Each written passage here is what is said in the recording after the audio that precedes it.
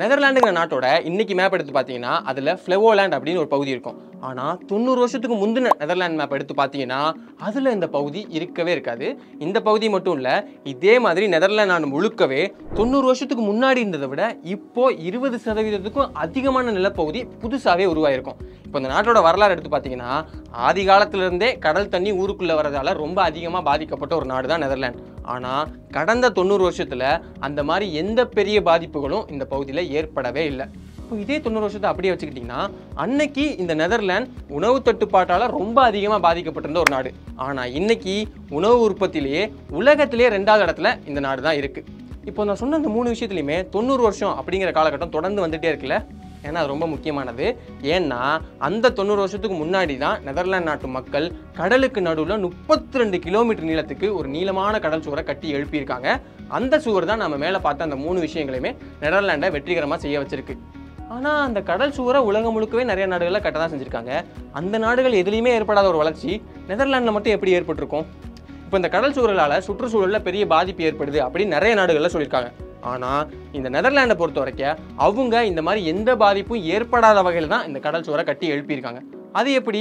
தொண்ணூறு வருஷம் ஆச்சு இந்த கடல் சுவரை கட்டி. இன்னைக்கு வரைக்கும் அது ஸ்ட்ராங்காக இருக்குன்னா அப்படி என்னதான் பண்ணி அதை கட்டியிருக்காங்க? எப்படி ஒரு கடல் சுவரால் ஒரு நாட்டுக்கு இவ்வளோ பெரிய வளர்ச்சி ஏற்பட்டிருக்கும்? அப்படிங்கிறத பற்றிலாம் தான் இந்த வீடியோவில் பார்க்க போகிறோம் நெதர்லாண்டை பொறுத்தவரை அதுக்கு கடல் தண்ணியால் ரெண்டு பெரிய பிரச்சனைகள் இருக்குது ஒன்று அதோடைய நாட்டுடைய கடற்கரை பகுதி நிறைய பகுதிகளில் கடல் நீர் மட்டத்தோட கம்மியான உயரத்தில் தான் இருக்குது இன்னொன்று சூரியன் மற்றும் நிலாவோட ஈர்ப்பு விசையால் எல்லா நாட்டு கடற்கரைகள்லையும் ஏற்படுற மாதிரியே அந்த கடல் தண்ணியோட நீர் மட்டம் உயர்றதும் கூடுறதும் நெதர்லாந்து நாட்டு கடற்கரையிலையும் நடக்க தான் செஞ்சுருக்கு. அப்படி இந்த ரெண்டு விஷயமும் சேர்ந்ததுனால கடல் தண்ணி ஊருக்குள்ளே ரொம்ப சுலபமாகவே வந்து நிறைய பாதிப்புகளை ஏற்படுத்தியிருக்கு. காலங்காலமாக அது நடந்துக்கிட்டே தான் வந்திருக்கு. மக்களும் காலங்காலமாக கடற்கரையை ஒட்டி சுவர் கட்டி அந்த தண்ணியை தடுத்து நிறுத்த பார்த்துருக்காங்க. ஆனால் அந்த கடல் தண்ணி அந்த சுவரை ரொம்ப சுலபமாக அடித்து நவுத்திட்டு அது மட்டுக்கு உள்ளே வந்து பாதிப்பை ஏற்படுத்தியிருக்கு. இது பத்தாதுன்னு புயல் மாதிரியான சீற்றங்கள் ஏற்படும் போதெல்லாம் காற்றுடைய வேகம் ரொம்ப அதிகமாக இருக்கிறதுனால கடல் தண்ணி ரொம்ப அதிகமாக ரொம்ப சுலபமாக ஊருக்குள்ளே வந்து ரொம்ப பெரிய பாதிப்புகளை ஏற்படுத்தியிருக்கு. அப்படி ஆயிரத்தி தொள்ளாயிரத்தி பதினாறில் ஏற்பட்ட ஒரு விஷ் நிகழ்வப்போ தான் ரொம்ப அதிகமான மனுஷங்களையும் விலங்குகளையும் பொது சொத்தையும் பொதுமக்களோட சொத்தையும் ரொம்ப அதிகமாக அந்த பாதிப்பு வந்து ஏற்பட்டிருக்கு. இப்படியே விட்டால் அது நம்ம நாட்டையே மொத்தமாக காலி பண்ணிடும். இதை எப்படியாவது சரி பண்ணணும். நிரந்தரமாக அதுக்கு ஒரு தீர்வு கொண்டு வரணும் அப்படின்னு முடிவு பண்ணி ஆயிரத்தி தொள்ளாயிரத்தி இருபத்தி ஏழில் நெதர்லாண்டுடைய ஒரு பக்கம் இருக்கக்கூடிய நார்த் ஹாலாண்டையும் இன்னொரு பக்கம் இருக்கக்கூடிய ஃப்ரீஸ்லேண்ட் அப்படிங்கிற பகுதியையும் ஒன்றா இணைக்கிற மாதிரி அவங்க ஒரு கடல் சுவரை கட்டி எழுப்ப ஆரம்பிக்கிறாங்க. அதுக்கு அவங்க வச்ச பேர் தான் அப்ஸ்லாடெக் அப்படி கட்டினதை சும்மா ஏதோ சாதாரண சுவர் மாதிரி கட்டிடாமல் தொண்ணூறு மீட்டர் அகலத்துக்கு கீழே நல்லா பெரிய பெரிய பாறைகளையும் காங்கிரீட் ஸ்லாப்பையும் தொடர்ந்து போட்டு போட்டு போட்டு அது தண்ணிக்குள்ளே ஸ்ட்ராங்காக அது இருக்கணும்னா என்னெல்லாம் பண்ணணுமோ அது எல்லாத்தையும் பண்ணி அதுக்கு மேலே தான் மண்ணை கொண்டு வந்து கொட்டியிருக்காங்க. அப்படி கொட்டினதையுமே அப்படியே சும்மா கொட்டிடாமல் அதுக்கு மேலே புற்களை கொண்டு வந்து நட்டு வச்சுட்டாங்க. எதுக்காகனா அந்த புற்கள் காற்றுலையோ இல்லை தண்ணியிலையோ இந்த மண்ணை அரைச்சிட்டு போயிடாம அப்படியே ஸ்ட்ராங்காக நல்லா பிடிச்சி வச்சுக்கும். சரி மேல் பகுதியை முடிச்சாச்சு. இப்போ சைடு என்ன ஸ்ட்ராங் ஆக்கணும்ல? ஏன்னா அந்த பக்கம் தான் தண்ணியை வந்து தொடர்ந்து அடிச்சுக்கிட்டே இருக்க போகுது. அப்போது அதை ஸ்ட்ராங் ஆகணும் அப்படிங்கிறதுக்காக நல்ல வெயிட்டான கொற்கள் கற்களை கொண்டு வந்து சைடு எல்லாம் அப்படியே அடுக்கி வச்சுட்டாங்க. இதை கட்டினப்போ மட்டும் செய்யாமல் ஒவ்வொரு வருஷமுமே தொடர்ந்து இந்த சைடில் இருக்கக்கூடிய பகுதியெல்லாம் ஸ்ட்ராங் ஆகிறதுக்கு என்னெல்லாம் பண்ணணுமோ அதை தொடர்ந்து பண்ணிகிட்டே இருக்காங்க. அதே மாதிரி எங்கேயாவது இந்த பகுதி வீக்காக இருக்குது அப்படின்னு தெரிஞ்சிச்சுன்னா அதையும் உடனுக்குடனே வந்து அவங்க சரி பண்ணிடுவாங்க. இப்படி செஞ்சதால அது கடல் தண்ணி நெதர்லாண்டுக்குள்ளே வர்றதை தடுக்கிறது மட்டும் இல்லாமல் நெதர்லாண்டோட ஒரு பகுதியும் இன்னொரு பகுதியும் இணைக்கக்கூடிய ஒரு பாலமாகவும் அது மாறிடுச்சு. கூடவே அது ஐசல்மர் அப்படிங்கிற ஒரு நல்ல தண்ணி ஏரி உருவாகிறதுக்கும் காரணமாக அமைஞ்சிருச்சு. எப்படின்னா இப்போ நெதர்லாண்டுடைய நிறைய நதிகள் நேரடியாக வந்து கடலில் தான் கலக்க போகுது. அப்படி கலக்கிறத தடுக்கிற விதமாக நாம் நடுவில் ஒரு செவரை கட்டிட்டோம். அப்போது அந்த நதி தண்ணி எல்லாம் ஒன்றா சேர்ந்து அது ஒரு ஏரி தண்ணியை உருவாக்கிடுச்சு அதை அவங்க விவசாயத்துக்கு பயன்படுத்த ஆரம்பிச்சிட்டாங்க. ஆனால் அது அங்கேருந்து மீன்களுக்கு ஒத்து வரல. ஏன்னா இந்த மீன் வகையை பொறுத்த வரைக்கும் அதில் யூரிஹாலின் அப்படிங்கிற ஒரு வகை இருக்குது அது நல்ல தண்ணிலையும் வாழும் கடல் தண்ணிலையும் வாழும். அது வாழ்கிறதுக்கும் சரி இனப்பெருக்கிறதுக்கும் சரி செய்கிறதுக்கும் சரி ரெண்டு தண்ணியும் தேவைப்படும். ஆனால் அநியாயமாக நாம் நடுவில் ஒரு செவரை கட்டி விட்டதுனால கடல் தண்ணியும் நல்ல தண்ணியும் தனித்தனியாக பிரிஞ்சிருச்சு. இப்போது அந்த யூரிகாலின் வகை மீன்களால் அந்த தண்ணி இல்லாமல் அதுங்களுக்கு அது ரொம்ப சிரமமாயிருச்சு. அதனால் இதை சரி பண்ணுற விதமாக ஃபிஷ் மைக்ரேஷன் சிஸ்டம் அப்படின்னு ஒரு திட்டத்தை கொண்டு வராங்க.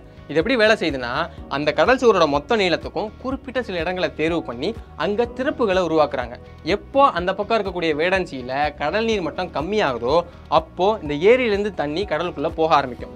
தண்ணி உள்ளே வர்றதை கண்டுபிடிச்ச மீன்கள் உடனடியாக அந்த திறப்பு வழியாக கடல்லேருந்து உள்ள ஏரிக்கு வரணும்னு நினச்சாலும் சரி இல்லை ஏரியிலேருந்து கடலுக்கு வரணும்னு நினச்சாலும் சரி அதை அந்த நேரத்தை பயன்படுத்தி அந்த பக்கமும் இந்த பக்கமாக போயிட்டு போயிட்டு வந்துக்கும். எப்போ அவங்க அந்த கடல் நீர் மட்டும் ரொம்ப அதிகமாகுதுனோ இல்லை இப்போ மூடியே ஆகணும் அப்படிங்கிறது அவங்களுக்கு எப்போ தெரியுதோ அந்த நேரத்துலலாம் அவங்க அந்த பாதையை மொத்தமாக மூடிடுவாங்க. அதுக்கப்புறம் தேவை இல்லை பரவாயில்ல இப்போ ஓப்பன் பண்ணிடலாம் அப்படின்னு நினச்சாங்கன்னா உடனே அவங்க ஓப்பன் பண்ணிடுவாங்க. ஆனால் விஷயம் என்னென்னா அவங்க ஆரம்பத்திலே இந்த மாதிரி திட்டத்தெல்லாம் கொண்டு வரல. அதாவது அவங்க எண்பத்தஞ்சு வருஷத்துக்கு முன்னாடியெல்லாம் அந்த திட்டத்தை கொண்டு வரல. இப்போ சமீபத்தில் தான் மீன்களுக்கு இதை ரொம்ப அதிகமான பிரச்சனையாக இருக்குது அப்படிங்கிறத கண்டுபிடிச்சி அந்த பாலத்தை அதாவது அந்த சுவரை மொத்தமாக பலப்படுத்தணும் அப்படிங்கிறதுக்காக அவங்க சில செயல்கள் செஞ்சப்போ கூடவே சேர்ந்து அவங்க இந்த திட்டத்தையும் செயல்படுத்திட்டாங்க. சரி மீன்களுக்கு வந்த பிரச்சனையை எப்படியோ சரி பண்ணிட்டாங்க. ஆனால் மனுஷங்களுக்கு வர பிரச்சனையே? அது என்னென்னா இப்போ ஆற்று தண்ணியை தேக்கி வச்சு நம்ம ஒரு ஏரியை உருவாக்கிட்டோம். ஆனால் இப்போ தண்ணி அதிகமாக வந்து சேர சேர சேர ஏரி ரொம்ப பெருசாகிட்டு போயிட்டே இருக்கும். அது ஒரு அளவுக்கு தான் பெருசாக முடியும். அதுக்கு மேலே போச்சு அப்படின்னா அது கரையில் வாழக்கூடிய மக்களையும் சரி அந்த கடல் சுவரையும் சரி பாதிக்கிறதுக்கு நிறைய வாய்ப்புகள் இருக்குது அப்போ இதை என்ன பண்ணுவாங்க? அப்படிங்கிறதுக்காகத்தான் டிஸ்சார்ஜ் லூயிஸ் கேட்ஸ் அப்படிங்கிற விஷயங்களை அமைச்சிருக்காங்க. இந்த டிஸ்சார்ஜ் லூயிஸ் கேட்ஸில் எப்படி நம்ம ஊரில் இருக்கக்கூடிய அணைகள் எல்லாம் ஒரே கேட்டாக இல்லாமல் நிறைய மதகுகள் வச்சு ஒன்று ஒன்றா திறந்து கூட தண்ணியை வெளியேற்றலாமோ அதே மாதிரி தான் இந்த டிஸ்சார்ஜ் லூயிஸ் கேட்ஸ்லையுமே நிறைய கதவுகள் இருக்கும். அந்த கதவுகளில் தேவைப்படுற அளவுக்கு அந்த தண்ணியை கொஞ்சம் கொஞ்சமாக வெளியேற்றிடலாம் ஆனால் இப்போ ஒருவேளை ரொம்ப பெரிய பேரிடர் ஏற்பட்டு மிகப்பெரிய வெள்ளம் வந்துச்சு அப்படின்னா அப்போ அந்த தண்ணியை எப்படி வெளியேற்றுவாங்க? இத்தனையோண்டு கேட்ஸ் மட்டுமே வச்சு எல்லா தண்ணியும் வெளியேற்ற முடியாதுல்ல? அது ஆபத்தாயிரும்ல? அப்போ என்ன பண்ணுவாங்க? அப்படின்னு கேட்டோம்னா அதுக்கு தான் ஃப்ளட் கேட்ஸ் அப்படின்னு சொல்லப்படுற மிகப்பெரிய திறப்பு இருக்கக்கூடிய பாதைகளையும் அதே மாதிரி பம்ப்ஸையும் வச்சுருக்காங்க. இந்த பம்போட வேலை என்ன அப்படின்னா அது ரொம்ப ரொம்ப சக்தி வாய்ந்தது. எந்த அளவுக்கு அப்படின்னா ஒரு செகண்டுக்கு அதால் இரநூத்தி முப்பத்தி அஞ்சு கியூபிக் மீட்டர் அதாவது ஒரு நொடிக்கு ரெண்டு லட்சத்தி முப்பத்தஞ்சாயிரம் லிட்டர் தண்ணியை உடனடியாக அதால் வெளியேற்றிட முடியும். இப்படி அவங்க ஒரே ஒரு டெக்னிக் மட்டும் இல்லாமல் ரெண்டு மூணு டெக்னிக்கை ஒரே நேரத்தில் வச்சுருக்காங்க அப்படிங்கிறதுனால தான் ரொம்ப பெரிய பேரிடர் ஏற்பட்டாலும் அந்த அந்த கடல் சுவருக்கு எந்த பெரிய பாதிப்பும் ஏற்படாது. சரி எப்படி இந்த கடல் சுவரை பயன்படுத்தி அவங்க புது நிலப்பகுதியை உருவாக்குனாங்க அப்படிங்கிறத பற்றி பார்ப்போமே. இப்போது அந்த நெதர்லாண்டை பொறுத்தவரை தொண்ணூறு வருஷத்துக்கு முன்னாடி அது உணவுப் பொருட்கள் சம்மந்தப்பட்ட விஷயங்களில் பெருமளவில் வெளிநாட்டிலேருந்து வரக்கூடிய இறக்குமதி நம்பி தான் இருந்திருக்கு. ஆனால் ஐரோப்பிய நாடுகள் முக்கால்வாசி அந்த சமயத்தில் உலகப் பொருளில் ரொம்ப பிஸியாக இருந்துட்டாங்க. அதனால இவங்களுக்கு வந்து சேரக்கூடிய அந்த உணவு இறக்குமதி வந்து சேரலை. அந்த சமயத்தில் தான் எப்படியாவது நெதர்லாண்டை உணவுப் பொருட்கள் உற்பத்தியில் தன்னிறைவு பெற்ற ஒரு நாடாக மாற்றணும் அப்படின்னு முடிவு பண்ணுறாங்க கரெக்டாக அப்படி யோசித்த கொஞ்சம் வருஷத்துலேயே அவங்க அந்த கடல் சுவரை வெற்றிகரமாக கட்டி முடிக்கிறாங்க. அப்போ இந்த கடல் சுவரை வச்சே அதாவது இதில் நம்ம கிடைச்சவுடைய அனுபவங்களை வச்சே எப்படியாவது நம்ம நாட்டை தன்னிறைவு பெற்ற ஒரு நாடாக மாற்றணும் அப்படின்னு முடிவு பண்ணி ஏரியில் அந்த கரையை ஒட்டின பகுதிகளில் புதுசு புதுசாக நிலப்பகுதியை உருவாக்க ஆரம்பிக்கிறாங்க. அந்த நிலப்பகுதிலாம் கொஞ்சம் உயரமாகவே உருவாக்குறாங்க. ஏன்னா அது ஏரிக்கு பக்கத்துலேயே இருக்குங்கிறதுனால ஏதாவது வெள்ளம் ஏற்பட்டுச்சுன்னா உடனடியாக அந்த பகுதியை தான் சீக்கிரமாக தாக்கும் அப்படிங்கிறதுனால அதை கொஞ்சம் உயரமாகவே உருவாக்குறாங்க. இதுக்கு அவங்க ரொம்பலாம் சிரமப்படல. ஏன்னா ஏற்கனவே கடலுக்குள்ளேயே அவங்க 32 கிலோமீட்டர் நீளத்துக்கு ஒரு நீளமான கடல் சுவரை கட்டி வெற்றிகரமாக கட்டி முடிச்சிட்டாங்க.